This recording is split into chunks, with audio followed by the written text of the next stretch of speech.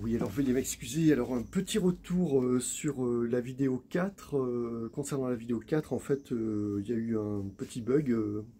il y a eu une coupure. Alors je continue donc la lecture où j'en étais. Voilà, concernant quand on a, il nous arrive beaucoup de coïncidences dans la vie, hein, qu'on se demande, il y a tellement un degré élevé de coïncidence qu'on se dit là, il y a quelque chose, c'est pas possible. Donc je continue la suite de la lecture, hein, je reviens un peu dessus. Donc.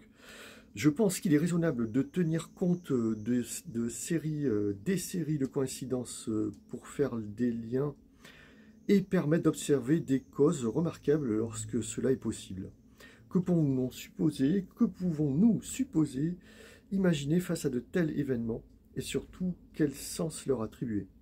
Il semble bien établi que toutes ces actions expriment une forme supérieure de communication autant qu'elle puisse paraître originale. Et peut-être souvent elle est, euh, c'est moi qui le rajoute, hein, insufflée par les, entités supérieures, les entités venues d'ailleurs.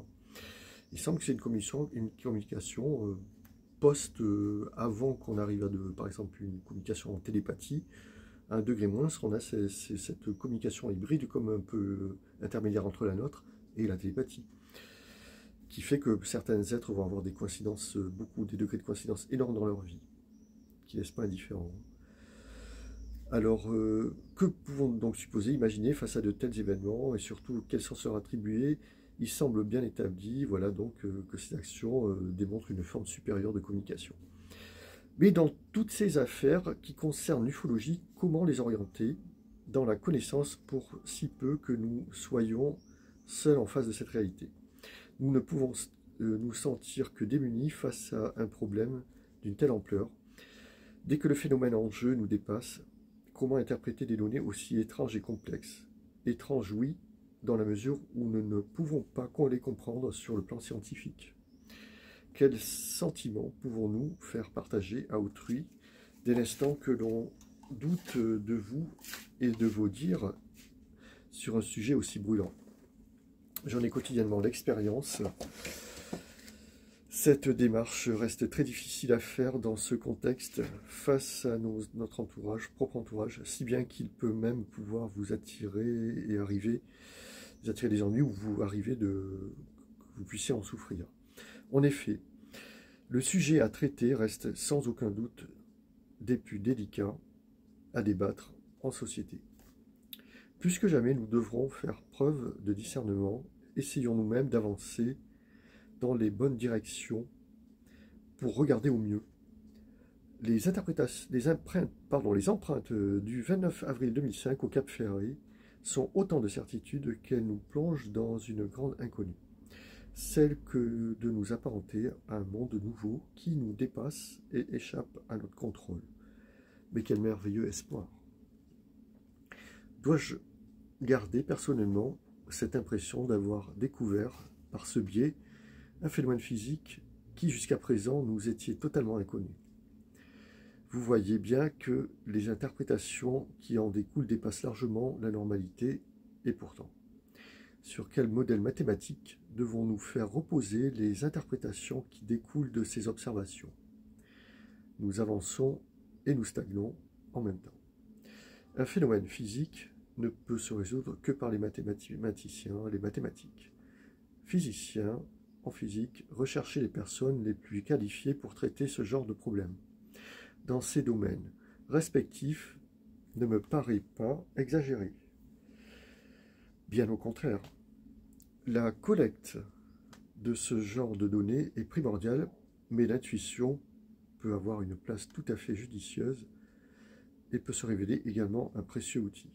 Je garde grand espoir au travers des rencontres imprévisibles qui jalonnent notre existence les extraterrestres semblent avoir commencé à nous donner rendez-vous avec eux. Mais nous devons croire en nos propres recherches, la gravitation, la mécanique quantique ou gravité quantique, et peut-être aux futures découvertes au sein du CERN à Genève en ce qui concerne le boson de Higgs. Nous devons croire aux recherches sur les ondes gravitationnelles, des éléments significatifs reposent aussi, je le pense fortement, en parallèle que l'on peut faire aux travaux en matière de fluctuation dans le vide. Notons qu'au début du XXe siècle, une expérience très importante fut réalisée de mesures extrêmement précises sur la, nature et la vitesse de la lumière et ses caractéristiques. Il s'agit de l'expérience de Michelson et Morley. Leur recherche révolutionnaire pour l'époque regroupait un ensemble de techniques appelées interférométrie. Cette interférométrie nous permettra de détecter dans un avenir proche et de mettre en évidence les ondes gravitationnelles, qui sont particulièrement difficiles à détecter à la surface de la Terre. Alors quand j'avais écrit le livre, c'était, euh, j'avais élaboré entre 2005 et 2008, il est paru en 2008. D'ici là, euh, d'ici maintenant, en 2024, vous imaginez l'eau a coulé sous les ponts. Et donc, euh, ces ondes, ce, dont je faisais référence dans cette dernière ligne que je vous ai lue, a vu le jour, les recherches ont émergé et l'observation et les outils modernes ont permis de détecter donc les ondes gravitationnelles, avec notamment les interféromètres de haute précision Virgo et LIGO, voilà, qui ont détecté euh, simultanément le passage d'une onde gravitationnelle euh, qui a traversé toute la, sphère de la Terre, en fait. Voilà, c'était euh, ça dans cette dernière, cette dernière décennie hein, que ça s'est produit. Alors, donc, je cloue donc, ces deux petites vidéos. Donc, il y a deux vidéos rattachées à la quatrième partie, donc ça c'est la quatrième euh, la quatrième partie donc euh, de la lecture intégrale euh, de mon ouvrage Récit ufologique. Comme il n'est plus en contrat d'édition, et eh bien je, fais la narration, hein, c'est pour ça que c'est l'objectif, faire la narration de l'intégralité de l'ouvrage Récit ufologique, paru à la Société des écrivains, et pour pouvoir vous le, présenter au public, hein, pour pouvoir le, diffuser auprès du public, puisqu'on ne peut plus se le procurer euh, dans le commerce. Voilà. Chers internautes, merci beaucoup pour votre écoute et fidélité.